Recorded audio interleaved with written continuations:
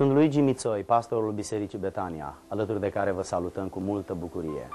Stimați prieteni și frați creștini, apreciem interesul dumneavoastră pentru înțelegerea Scripturilor și vă încurajăm să credeți promisiunile lui Dumnezeu din Biblie și să-L cunoașteți în mod personal pe Mântuitorul Iisus Hristos. El este Salvatorul și Medicul Suprem. El este soluția lui Dumnezeu la toate problemele dumneavoastră. Vă mulțumim că veți rămâne alături de noi ascultând mesajul care urmează. Vă dorim din toată inima un timp minunat, alături de Cuvântul lui Dumnezeu.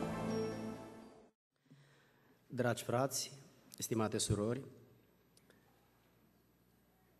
am făcut o pauză mai lungă în ciclul de lecții biblice numit Învățăturile Bibliei sau Doctrinele Bibliei, dat fiind faptul că am călătorit în România alături de un grup de frați, după cum bine știți, și acum fiind împreună reluăm ciclul acesta de lecții biblice cu scopul să ne aducem aminte de învățăturile scripturilor sau să le învățăm. În această seară trecem la o altă lecție biblică, Cina Domnului, dat fiind faptul că în fiecare lună predicăm despre asta, învățătura ne este proaspătă în minte, însă în seara aceasta expunerea va fi mai teologică și mai puțin devoțională. De aceea vă invit să deschideți cuvântul Domnului în Evanghelia după Matei, capitolul 26, de unde vom citi versetele 17 la 20 și 26 la 29. Vă invit în numele Domnului să vă ridicați din respect pentru Evanghelie. Matei, capitolul 26, de la 17 la 20 și continuăm de la 26 la 29. Versetul 17. În ziua din tâi a praznicului azimilor, ucenicii au venit la Isus și i-au zis, Unde vrei să-ți pregătim să mănânci Paștele? El le-a răspuns, Duceți-vă în cetate la cutare om și spuneți învățătorul zice, vremea mea este aproape, voi face Paștele cu ucenicii mei în casa ta. Ucenicii au făcut cum le poruncise Isus și au pregătit Paștele. Seara, Isus a șezut la mașă cu cei 12 ucenici ai săi. Versetul 26. Pe când mâncau ei, Iisus a luat o pâine și după ce a binecuvântat, a frânt-o și a dat-o ucenicilor zicând, luați, mâncați, acesta este trupul meu. Apoi a luat un pahar și după ce a mulțumit lui Dumnezeu, l-a dat zicând, beți toți din el, căci acesta este sângele meu, sângele legământului celui nou, care se varsă pentru mulți spre iertarea păcatelor. Vă spun că de acum încolo nu voi mai bea din acest rod al viței până în ziua când îl voi bea cu voi nou în împărăția Tatălui meu. Amin. Mulțumesc frumos, frați și surori, vă rog să vă reocupați locurile.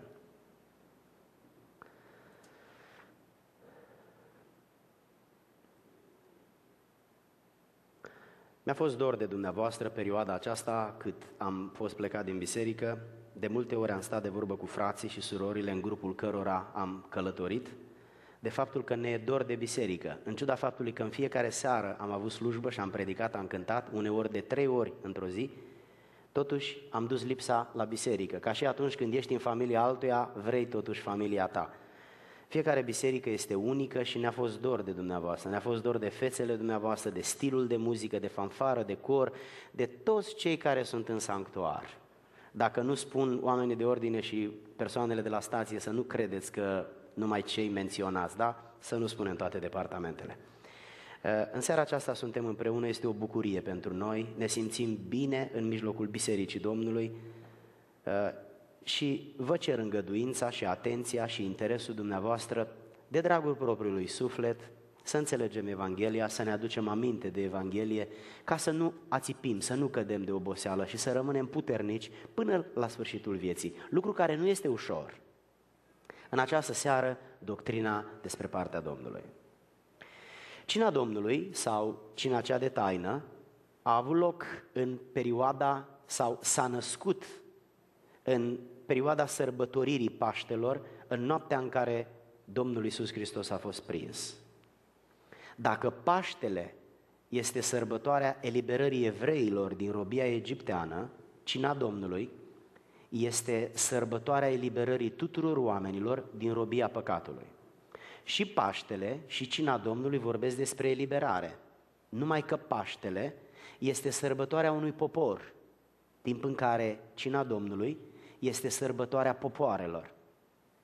Paștele simbolizează scăparea din robia unei națiuni. Cina Domnului serbează eliberarea din robia diavolului, a păcatului. Există multe asemănări și multe diferențe. Știm că Mântuitorul a instituit, a instituit mai mult decât un sacrament, mai mult decât o ceremonie pe care noi trebuie să o respectăm. Cina Domnului este pentru poporul născut din nou, pentru poporul noului legământ, expresia de închinare profundă. Scopul cinei Domnului este să ne amintească de moartea înlocuitoare a Mântuitorului nostru iubit și de învierea sa, dar și de perspectiva revenirii sale în glorie, de data asta nu pentru noi, ci după noi. Cina Domnului este al doilea sacrament după botezul în apă, fiind ca și acesta constituită de Domnul Isus Hristos. Aduceți-vă aminte de textul pe care l-am citit. Aș vrea, în primul rând, în această seară, să vorbim puțin despre denumirile pe care le întâlnim în Biblie cu privire la cina Domnului. Subiectul acesta, ca și subiectul Duhul Sfânt, ne pune în situația să avem mai multe denumiri pentru același lucru. Este Duhul Sfânt, Duhul Slavei, Duhul lui Hristos, Duhul lui Dumnezeu, Duhul cu D mare și multe alte denumiri care vorbesc despre aceeași persoană, a treia din Trinitate. Nu există Duhul lui Hristos diferit de Duhul lui Dumnezeu și diferit de Duhul Sfânt. O grămadă, o armată de duhuri. Nu. Există un singur Duh, dar îi se spune în mai multe feluri și fiecare fel vorbește despre o caracteristică a sa. Când spunem Duhul lui Hristos, asta înseamnă, arată unitatea sa cu Hristos. Când spunem Duhul Sfânt, arată faptul că El e Sfânt. Când spunem Duhul lui Dumnezeu, arată faptul că vine din Dumnezeu. Și așa mai departe. Tot la fel, când vorbim despre cina Domnului, îi spunem în mai multe feluri. Cina Domnului, în 1 Corinteni, capitolul 11, versetul 20, când vă adunați, dar în același loc, nu este cu putință să mâncați cina Domnului. Și continuă verset. Observați expresia cina Domnului. Dar există și expresia frângerea pâinii. Noi putem să spunem, duminică avem frângerea pâinii. Este la fel de biblic.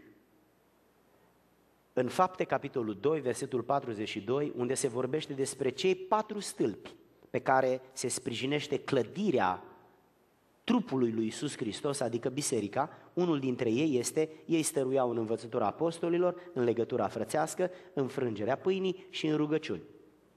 Apoi, împărtășirea, 1 Corinteni 10 cu 16.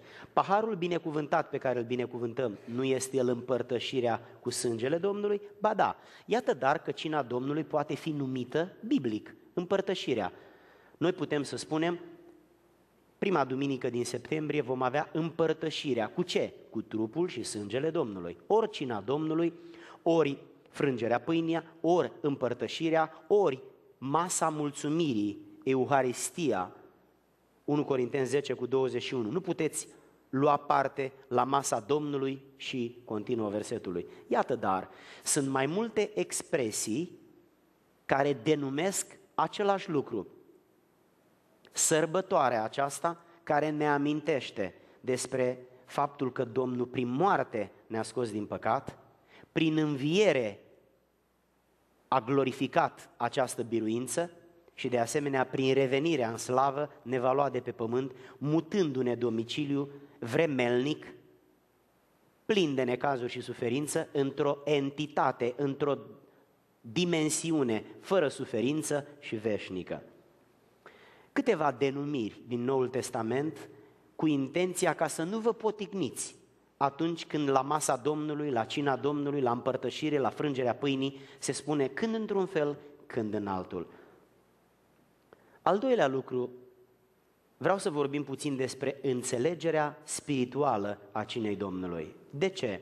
În cei 2000 de ani de istorie creștină, apostolii care au fost una la început, ucenicii, la moartea lor au rămas urmașilor, la moartea acestora urmașilor și așa mai departe. În timp, această unitate s-a stricat prin partide și dezbinări. Și marea schismă adică marea despărțire, când catolicii s-au despărțit de ortodoxi, bisericile istorice și apoi au fost protestanții și neoprotestanții, adică cei care au protestat la istorici și ei au căzut în istoricizare sau prote- au reprotestat și ei și noi suntem neoprotestanți că am fost al doilea val care am protestat la adormirea în păcat. Ei bine, toate aceste denominații creștine pe perioada aceasta de 2000 de ani au înțeles diferit cina Domnului au practicat-o diferit, dar mai mult decât au practicat-o diferit, au acordat semnificație diferită. Și vreau să vă spun doar pentru aducerea aminte, cei mai mulți dintre dumneavoastră cunoașteți aceste lucruri.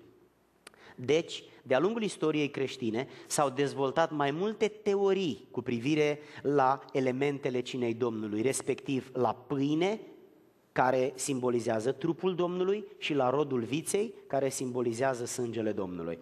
Prima teorie este împărtășită de Marea Biserică Catolică și este numită teoria transubstanțierii. Transubstanță, transubstanțierii spune, teoria aceasta spune, că în urma rugăciunii preotului pentru consacrarea pâinii și vinului, pur și simplu pâinea și vinul se transformă din punct de vedere fizic în trupul Domnului și în sângele Domnului. Asta înseamnă că toți credincioșii care se împărtășesc, fizic, se împărtășesc cu trupul Domnului și cu sângele Domnului. Ei așa cred. Așa sunt învățați și așa cred. Noi nu credem că mâncăm efectiv în mod fizic trupul Domnului și nici că bem sângele Domnului. Teoria transubstanțierii noi nu o împărtășim. Este o teorie în interiorul Bisericii Catolice. Sigur că a doua teorie este teoria consubstanțierii, ea e susținută de Biserica Luterană. Acum Biserica Luterană nu mai este așa de influentă ca acum uh, cu zeci de ani în urmă, dar teoria aceasta spune că pâinea și rodul viței nu se transformă efectiv în trupul Domnului și în sângele Domnului, doar că Domnul Isus Hristos este prezent în pâine și prezent în rodul viței. Asta înseamnă că toți credincioșii se împărtășesc tot cu trupul și sângele Domnului efectiv în mod fizic. Noi nici cu această teorie nu suntem de acord. A treia teorie este teoria prezenței spirituale și acesta este punctul de vedere al bisericilor evanghelice, penticostali, baptiști, această teorie a prezenței spirituale susține că cele două elemente nu se transformă. Compoziția pâinii și a rodului viței nu se transformă în compoziția cărnii fizice, biologice a Domnului Isus și nici în compoziția sângelui Domnului Isus Hristos, ci doar ele poartă simbolul și poartă valoarea și au semnificația trupului și sângelui Domnului Isus. Dacă pentru pâinea care ne rugăm, după ce ne-am rugat, o ducem la un laborator, ea este la fel de pâine ca înainte de rugăciune. Ea nu-i carne, ea e pâine. Dacă rodul viței, după ce ne-am rugat pentru el, îl ducem la laborator, la o analiză chimică, vom observa că are absolut aceeași compoziție chimică ca orice rod al viței, nefermentat, ca orice must. Iată dar că nu-și schimbă compoziția chimică, ci doar prin credința noastră, în urma dedicării prin rugăciune, la porunca lui Dumnezeu, capătă numai pentru cei născuți din nou. De aceea cei nenăscuți din nou nu se pot împărtăși. Pentru ei mănâncă un dumicat de pâine și bea o gură de vin. Ci numai prin credință, în urma dedicării, în urma rugăciunii, ea poartă valoarea, poartă semnificația trupului și sângelui Domnului Isus Hristos. Dar lucrul acesta se întâmplă doar prin credință. În lumea fizică, elementele pâine și rodul viței sunt absolut la fel. Dar prin credință ele au semnificație spirituală. Această semnificație spirituală nu o poți avea decât prin credință, iar credința nu o poți avea decât dacă ești născut din nou, decât dacă te-ai pocăit. Tocmai de aceea cina Domnului nu este decât pentru oamenii născuți din nou. Doar ei pot prin credință să acorde semnificație spirituală elementelor materiale pâinea și rodul viței. De altfel, ele au aceeași compoziție chimică când le înghițim, ca și înainte să fie puse pe masă și pastorii să se roage pentru ele. argumente pentru teoria prezenței spirituale. Ascultați-mă cu atenție. Prima cină a avut loc înainte de crucificare, corect? Înainte de jertfa Domnului Isus. Asta înseamnă că sângele și carnea Domnului încă nu fusese jertfite.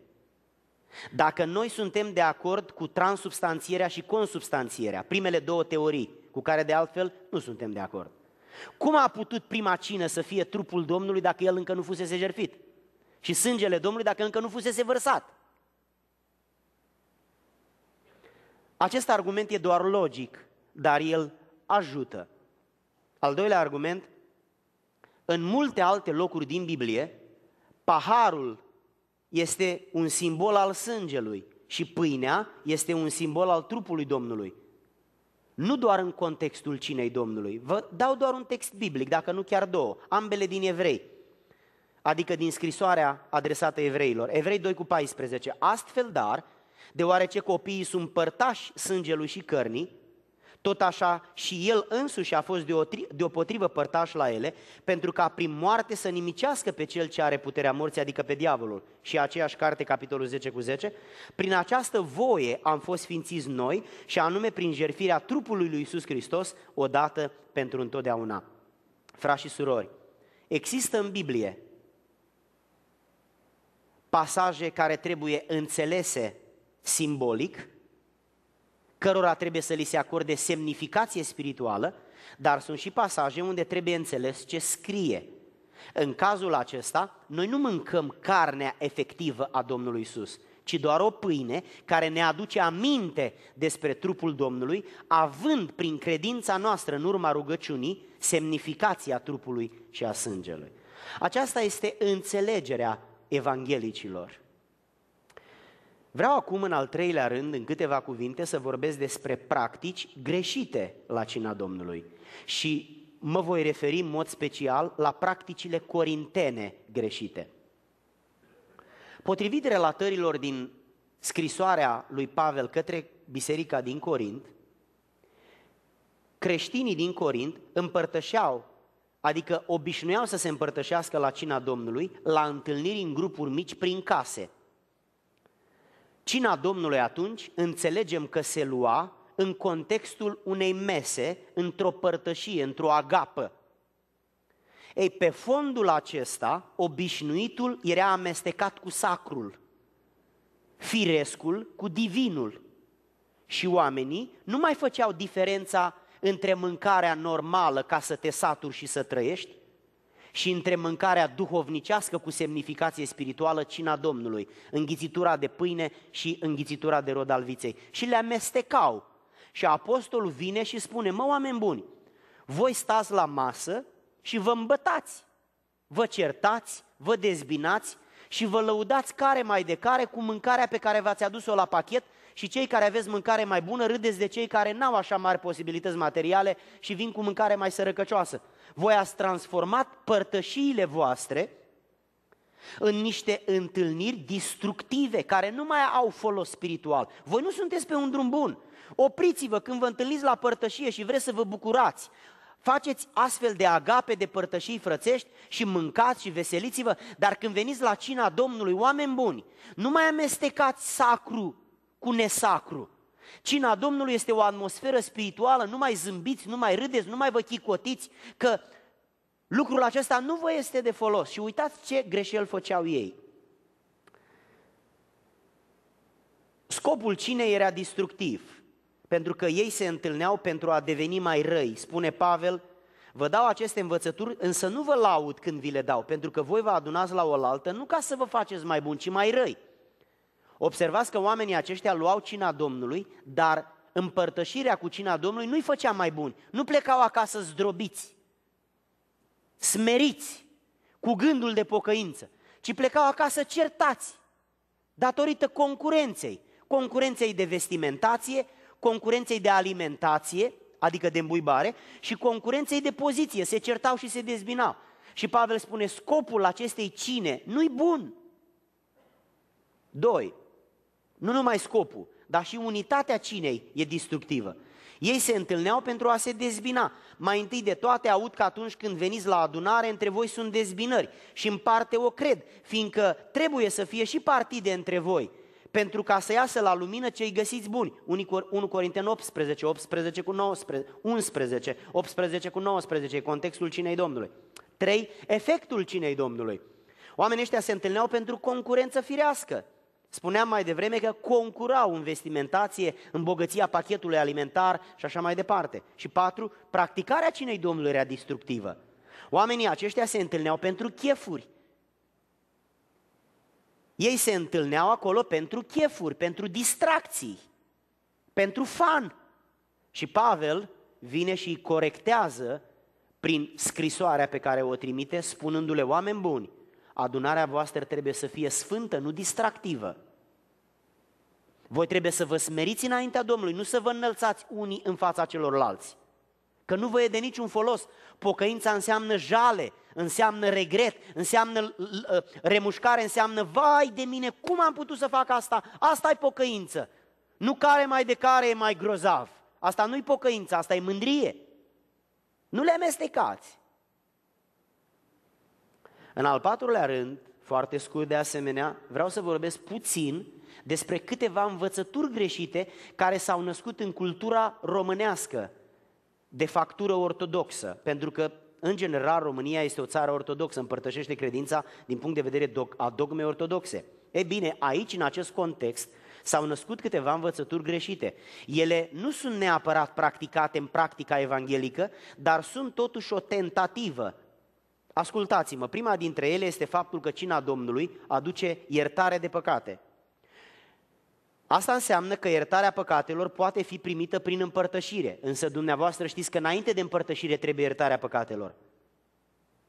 Nu poți să te împărtășești dacă nu ai păcatele iertate. Există altceva înainte de împărtășire care îți iartă păcatele, adică sângele Domnului. Dar sângele Domnului cerut prin credință, nu cel simbolizat de rodul viței. Cu alte cuvinte, când te împărtășești, mai întâi trebuie să ai păcatele iertate și apoi să te împărtășești. Nu cu păcatele neiertate te duci să iei cina ca să te împărtășești, ca să-ți fie iertate păcatele. Scopul cinei nu este să ți se ierte păcatele și scopul cinei este după ce au fost iertate păcatele să o iei.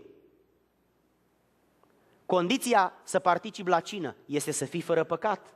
Nici nu se pune problema că ți se iartă păcatele atunci. Din potrivă, aduceți-vă aminte de învățătura lui Pavel în 1 Corinteni, textul pe care îl citim de obicei la cina Domnului, permiteți-mi să-l recitesc. Uitați ce spune cuvântul Domnului.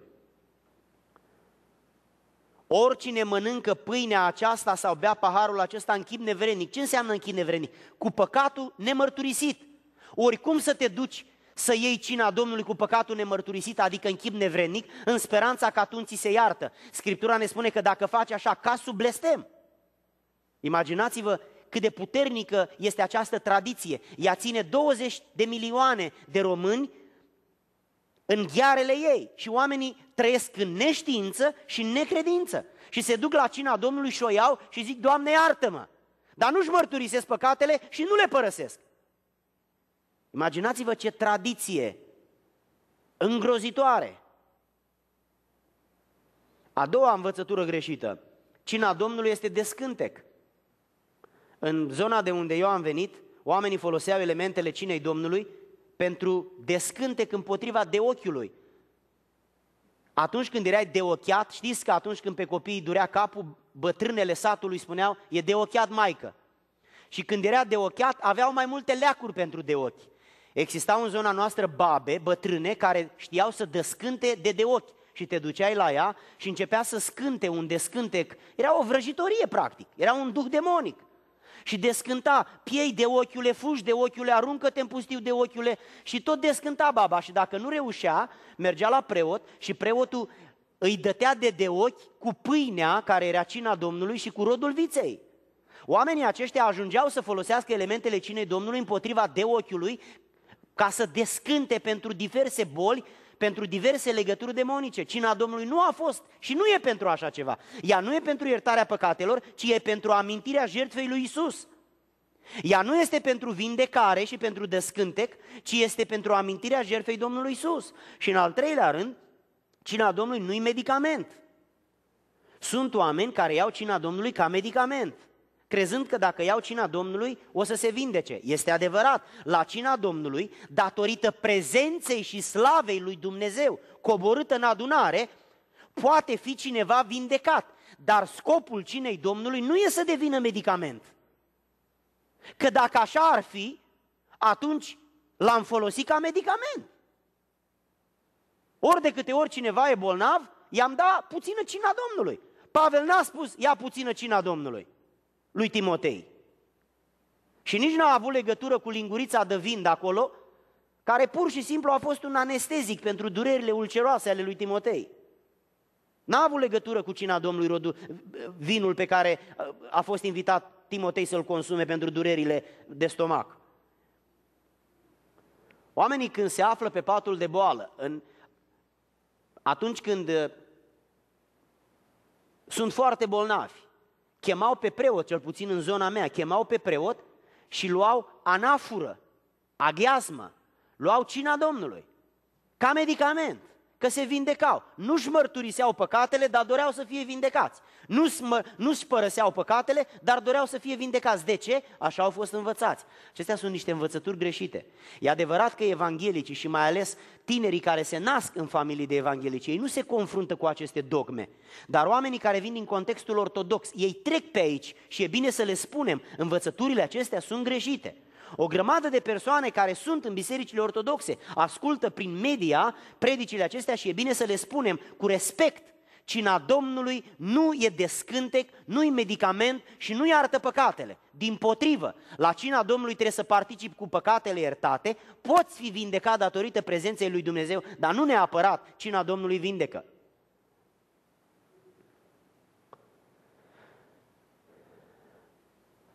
În al cincilea rând, vreau să spun câteva dintre semnificațiile pe care le are cina Domnului. Ce înseamnă cina Domnului? De ce ne împărtășim noi cu cina Domnului? Ce înseamnă pentru noi când ne împărtășim? Ați observat că dacă sunt oameni nenăscuți din, nenăscuți din nou între noi, musafirul cuiva, domne, se uită ca la un show.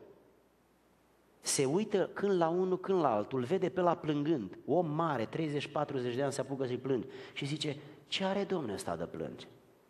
Pe altul vede cercetat, meditând adânc și se întreabă, ăsta ce are, domn?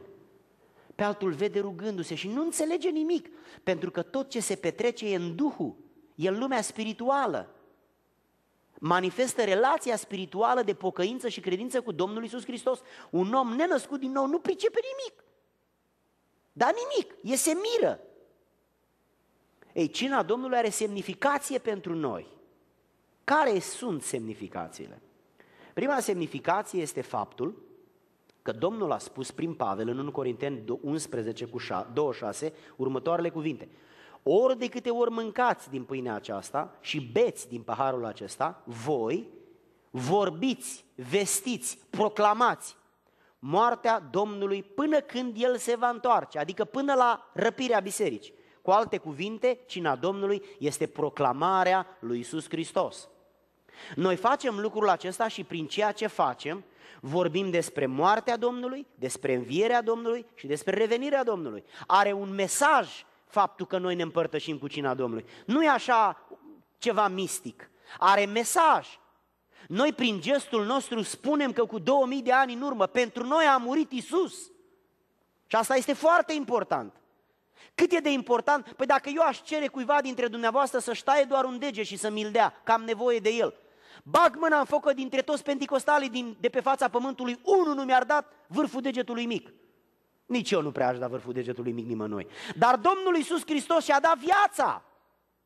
E o onoare pentru mine să vorbesc prin gestul împărtășirii mele ce a făcut Mântuitorul glorios pentru mine cu 2000 de ani în urmă. Cine sunt eu să moară Iisus pentru mine? Cine ești dumneata? Niște oameni vinovați, niște oameni cu slăbiciuni și defecte. Am avut onoarea și harul pentru noi să moară Dumnezeu Fiu. Păi cum? Să nu profităm noi de ocazia aceasta și prin gestul de împărtășire să nu proclamăm ce a făcut Isus pentru noi. Ba da, ne vom implica cu toată responsabilitatea și vom participa la cina Domnului, pentru că Scriptura ne spune că nu avem viață dacă nu ne împărtășim. Sigur că cine nu are viață nici nu prețuiește împărtășirea. Și lucrul acesta îl știm și din teoria Scripturii și din practica bisericească. A doua semnificație, pe lângă faptul că e proclamarea morții Domnului, este un act spiritual în amintirea Domnului. Versetul 24. Și după ce a mulțumit lui Dumnezeu afrând pâinea, a zis, luați, mâncați, acesta e trupul meu care se frânge pentru voi. Să faceți lucrul acesta spre pomenirea mea. Hristos îmi spune mie, omul născut din nou din Biserica Betania, în fiecare lună să te împărtășești, pentru că în felul acesta tu faci acest lucru spre pomenirea mea. Mi-aduc aminte de bunica. V-am tot povestit că mama, tata m-au lăsat la șase luni și bunica m-a crescut. Ea a însemnat totul pentru mine, n-am mai avut frați și surori. Când bunica a murit, să știți că cel puțin în cultura noastră, dar în general în toate culturile, există ultimile cuvinte numite a lăsat cu vorbă de moarte. Și cuvintele acelea devin absolut importante pentru urmași. Mi-aduc aminte de cineva care a primit ultimile cuvinte ale părintelui său. Când mor, să mă mormântezi în condițiile astea. Și a fost ciudat cum a cerut el. Dar copiii, pentru că l-au auzit cerând asta, a spus, tata a lăsat cu limbă de moarte. Ultimile cuvinte sunt numite cu limbă de moarte. Domne, în condițiile alea ciudate l-au înmormântat pentru că așa a cerut tata pe patul morții, a lăsat cu limbă de moarte. Ei, Domnul Iisus Hristos a lăsat și El cu limbă de moarte și a spus următorul lucru.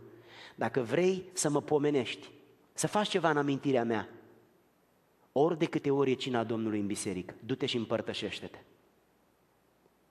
Dacă vrei să faci ceva pentru mine, ceva personal, nu la grămadă, dacă vrei să faci ceva pentru mine, în amintirea mea, să-mi cinstești memoria, fraților, ce faceți când soția dumneavoastră are, împlinește un număr de ani, sau soțul, sau copiii? Nu așa că cumpărați un tortuleț și acolo 5 minute sau 5 ore faceți o sărbătoare, un pic de bucurie, un cântecel, o rugăciune, acolo o masă festivă, nu este așa? Și an de an, și merită soția mea asta, și merită soțul, și merită copiii. Și Isus nu merită? Uite-te un pic la mine. Nu merită Isus? Păi ce fel de om ești? Îți pui codița între picioare și te duci la cina Domnului și spui lasă cu iau duminica viitoare. Și umbli din biserică în biserică fugind de cina Domnului. Mă omule, eu nu-ți spun asta să te jignesc, dar tu mergi pe un drum greșit. Dacă pentru tine Isus Hristos este important, cinstește-i memoria. Și când e cina Domnului bolnav, ridică-te și vino aici. Vino aici să-i cinstești memoria împăratului și regelui. E o onoare pentru oamenii născuți din nou. E o cinste.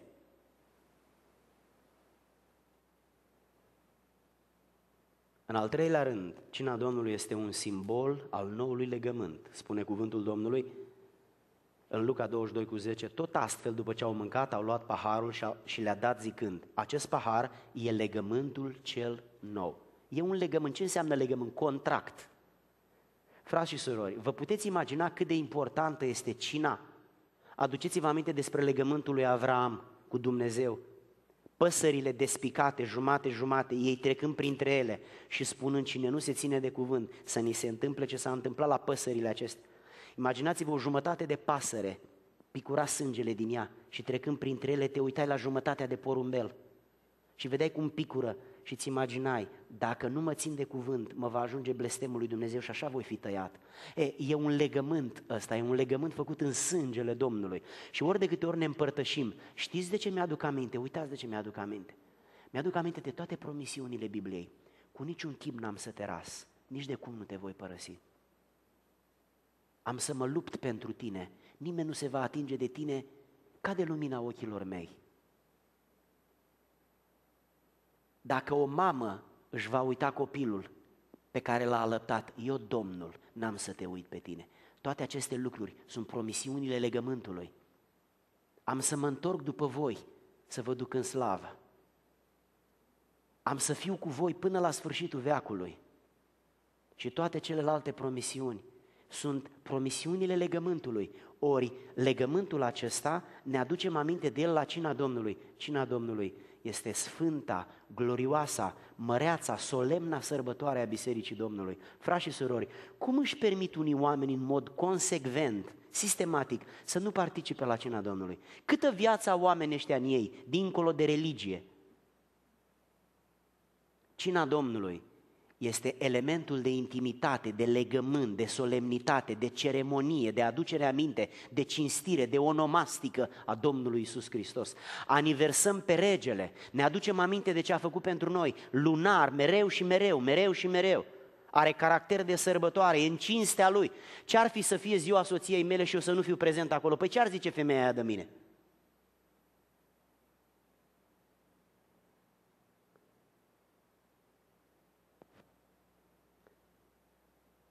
În al patrulea rând, este expresia părtășiei și unității credincioșilor, care se împărtășesc din aceleași elemente.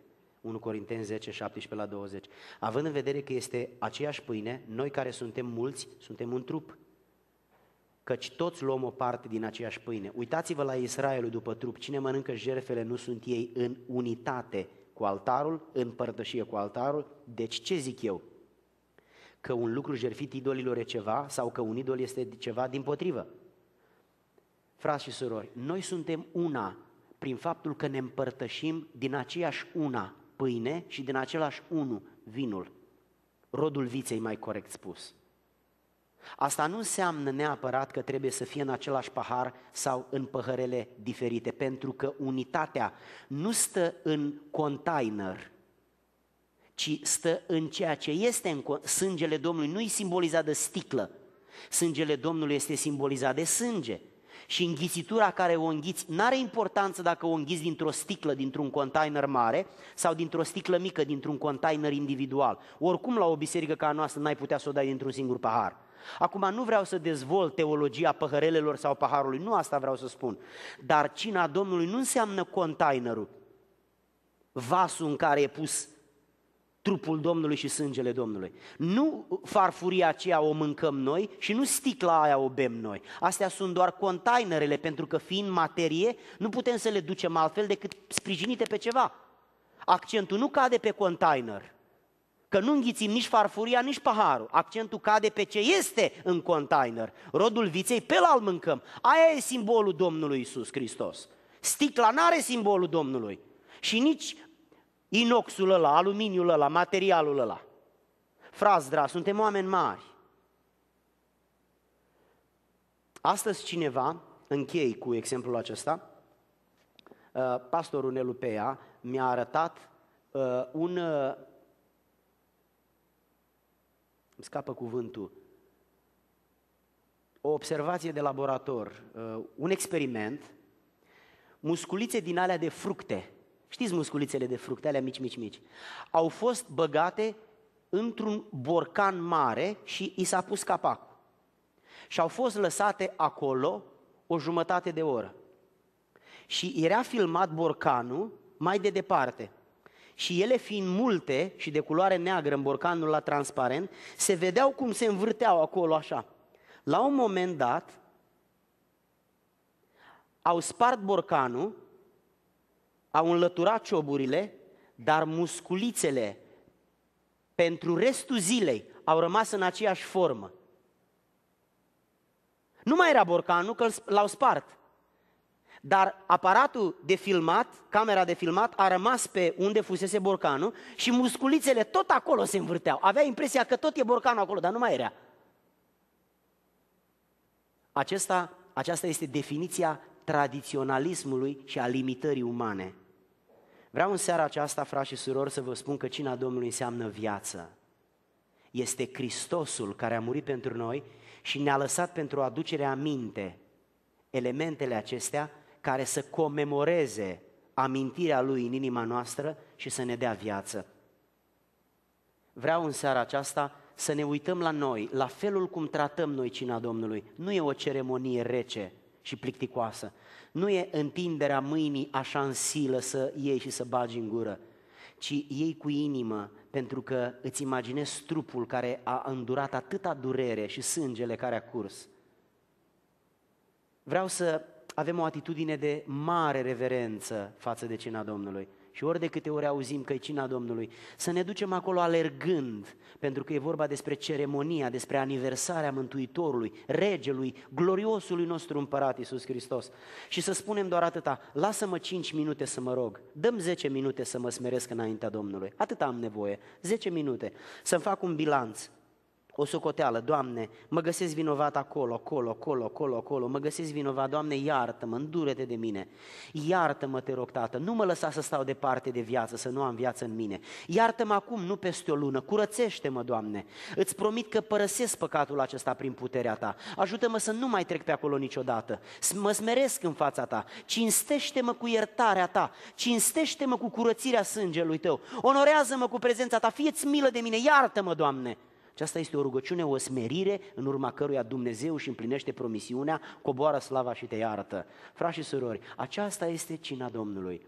Vreau în această seară să ne rugăm pentru ca Dumnezeu să împrospăteze înțelegerea noastră, dar și atitudinea noastră vis-a-vis de cina Domnului. Vă rog să ne ridicăm în picioare și cum ne îndeamnă Duhul Domnului, așa să ne rugăm împreună.